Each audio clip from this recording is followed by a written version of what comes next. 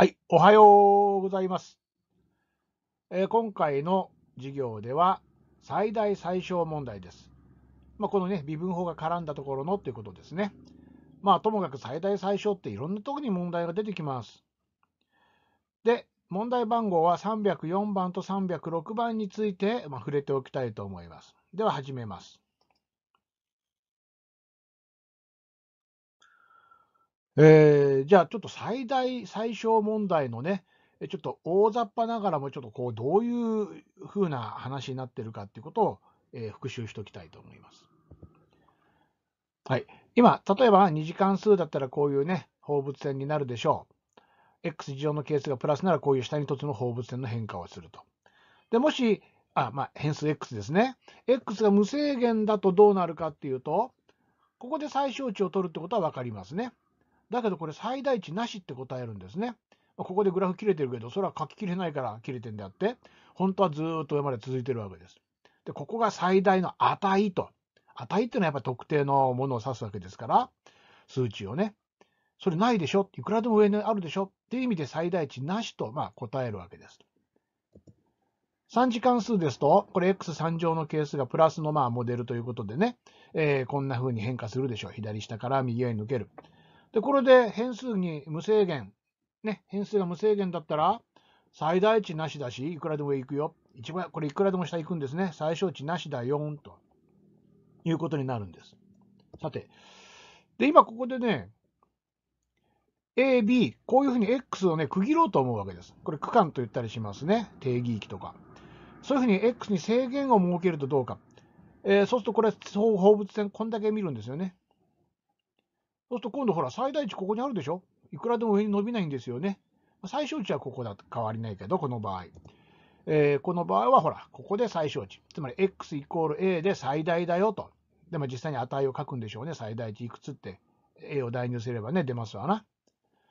また、こういう風な区切り方もありますね。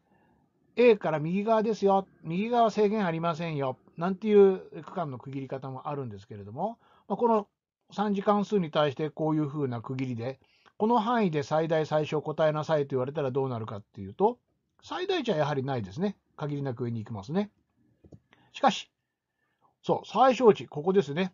えーまあ見た目で一応ここよりもこっちの方が低いですね。だからこの今左下の x イコール a で最小だという答えが出てくるわけです。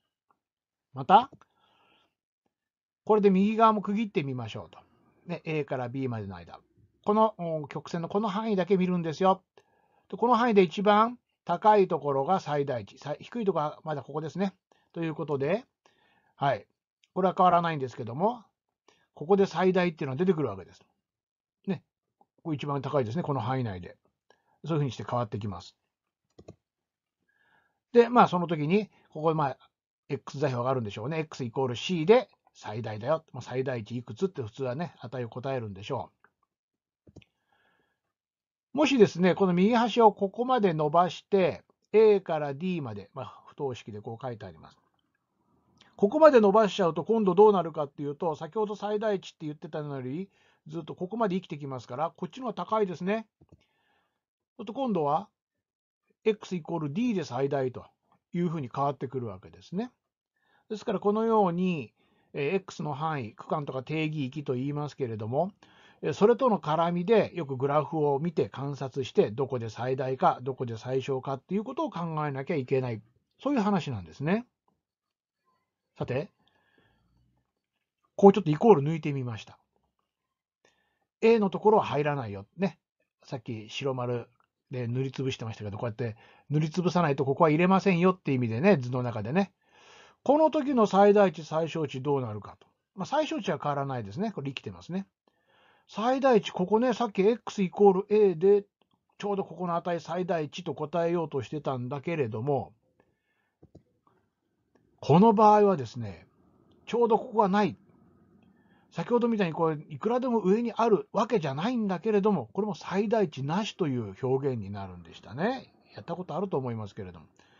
つまり、最大値、さっきも言ったけど、この特定の値決められないでしょ。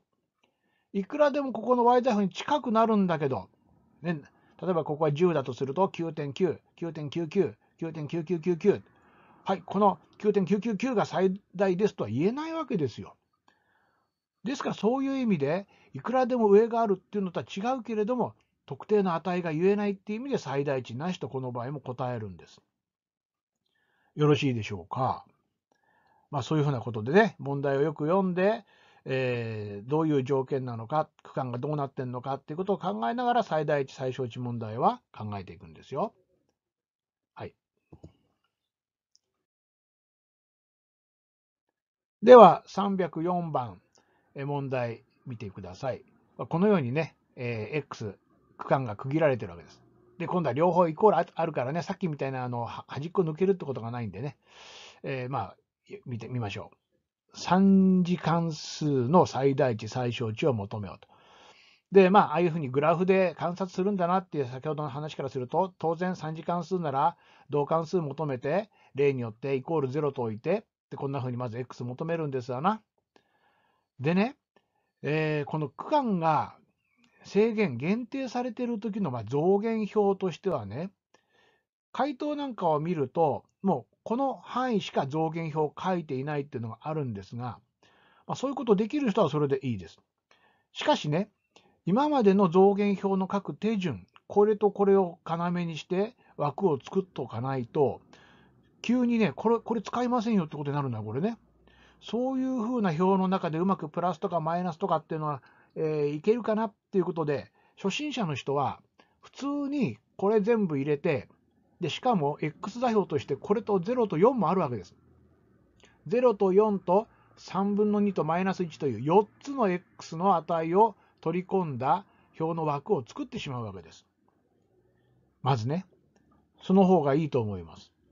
で、いつものように y' が0になるところ、ここには y'0 と置きます。他のところは、えー、プラスかマイナスが入るんですね。まあ、後でやっていきます、順に。で、えー、本来はていうか、この問題はこれでこのうちのこの部分だけなんだってことなんですよ。ね。最初からこの部分だけ書ければいいんだけど、こういうプラスマイナスの区切り目を外してうまくこうね、えプラスマイナス入れられるかっていうことなんです。そこでまあ全体を書いてみましょうと。で、ここの範囲だけなんだよってことは一応ね、えこれ見ながらやっていくんですよ。こんな、ま、最後にこういう区切ってもいいですけどね。で、とりあえず、X 座標の分かっているところを入れましょう。Y 座標。で、ここはね、区間の範囲外ないんで、まあ、ここはまあ、計算せずともね、もう空欄のままほっといてもいいかもしれない。だって、こっから左側を書かないものだってあるんですからね、もう、また書きもしないなんでね。まあ、ここはちょっとね、えー、空欄のままでいいでしょう。ちょっと手間省きましょう。で、全体を見て、この y' の符号っていうのは、y'、この二次関数のこういう放物線の変化で見るんでしたね。で、マイナス1より小さいところでプラス、ほら、これ使えるわけです。いつも通りの作業でやりんです。マイナス1と3分の2の間でマイナス。で、こんなところに変な縦線が入っちゃってるんだけれども、これはこの0のためですね。この04という区切りがなければ、本来この縦線入ってなくて、ここ一つの枠なんです。で、マイナスと今まで書いてたんです。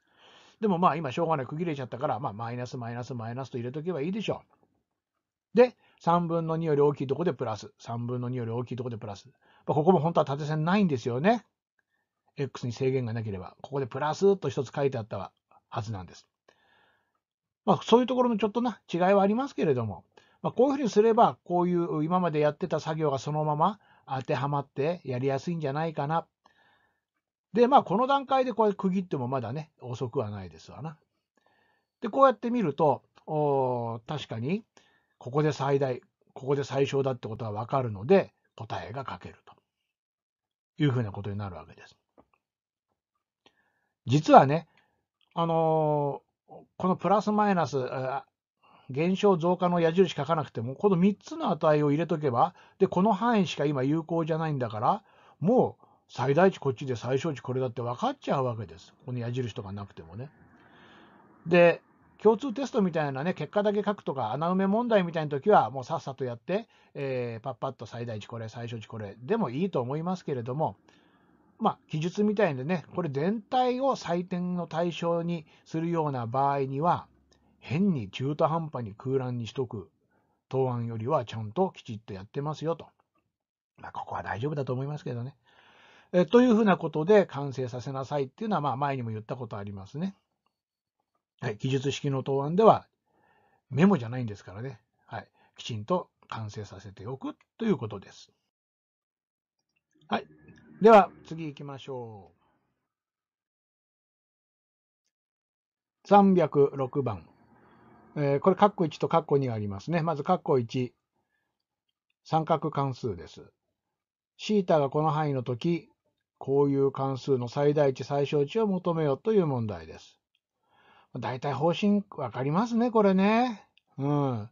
えー、ヒントとして一応出しておきますね。もうこういう風になってると、サイン2乗の方がこいつでコサイン2乗を使ってね、書き直せるだろうと。そうすると全体が、えー、コサインだけになって、コサインの3乗、コサイン2乗のね、式になるから、そうすると勢い、コサインシータを t とでも置こうかなってことになって、と、まあ、t の3乗とかあってね、t の3次関数にしようじゃないかと。で、えー、この置き換えをしたときっていうのはね、変数ってのは何かしら制約受けることがほとんどですね。で、今の場合、コサインシータ。で、シータは同型の位置で言うと1周分ぐるっと回れますので、まあ、いわゆる全部の値、マイナス1から1の間の値すべて取るだろうと。サインやコサインっていうのは、えー、マイナス1と1の間、あえ、イコール付きでね、マイナス1から1以下の間ということになるわけですね。ですから、この t の3次関数をこの区間でもって最大値最小値を求めろっていう問題なんですね。はい。えー、っとですね、問題には特に書いてないんだけれども、最大値最小値の問題では、まあ、普通はですね、その時、最大値を取るとき、最小値を取るときの、まあ、この場合変数、シータですね。t じゃなくて、大元のシータの値も普通は答えとくんです。ね。いや、答えろって書いてないから答えませんって言うけど、書いてある答案と書いてない答案があったときにどういう差がつくかなとまあ考えてみてください。で、シータが求まらないようなね、え場合もあるわけですよ。で、そういう問題の時はね、普通はシーターは求めなくてよいって、えー、良心的な問題ならそういうふうに書いといてくれてます。で、書いてない時は、まあ答えるね、えー、方向に持ってって、きちんと求まったら答えておくと。まあそういうふうなことで気をつけてくださいね。はい。では次いきます。もうこれでできますよね、これね。括弧1ね。もうこれは回答しませ示しませんよ、全部はね。はい。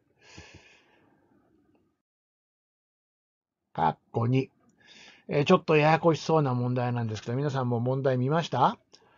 えー、fx、今度対数のね、関数です。こんな関数があって、で、あ、fx をこういうふうに変形するんだってって話ですよね。最初何かなと思うんだけど、つまりこういうふうに変形したいんだと。その時にこのね、部分をちゃんと x の式で求めてくださいという話なんです。で、e の方がまあメインですね。この fx の最大値とその時の x。今度はその時の x もちゃんと書いてあるからね。えー、これを求めると。えー、この辺りでね、最初初めて見るとね、こういうの慣れてないとな、な、な、何をしようとしてるんだなんてね、思うかもしれないけれども、さあ、どう考えるか。この fx をこれログ2だけにするんですよね。まあ、そういう話なんですけども、まず何よりも、ログについては、はい、整数条件、これをまず真っ先にね、確認しましょうってことです。整数条件、これね、整数ですよ。いろいろ変形してからの整数じゃもう手遅れなんで、問題のまんまの整数条件、これがプラス、ね、0より大きい、かつ、これ全体で中括弧の中全体ね、これがプラス。それを満たすような x の範囲を決めておくわけです。で、その範囲においてはいろいろね、ログの計算、まとめたりいろんなことをしていいよって話なんで、これをやらずにいきなりこれを一つのね、ログにするとかなんかやるってことはダメなんですというふうにことで、丸1番、真数条件で x の範囲を求めておく。はい、次。で、それができれば、そうですね、これまとめるって今ね、ちらっと言いましたけど、定が違うものってなかなかまとまりません。で、普通はどちらかに揃えて、つまり定を変換するわけですよ。こんな公式ありましたね。ある対数をなんか C、正の数で1以外の定、自由に選べるんです。で、元々の定が下に来て、えー、こちらの進数 b が上に来ると。両方にログログつきますんでね、気をつけてください。で、えー、まあ、小さい方の定に揃えることが多いんでね、ここでは定を2に揃えると書きました。はい。そうすると、まあ、ログ2、ログ2っていうふうな、なんか足し算になるんでしょうね。はい。で、ここに2分の1がついてるんで、とにかくそういう方向に持っていかなきゃいけないんで、とにかく2分の1でくくるということをやるんですよ。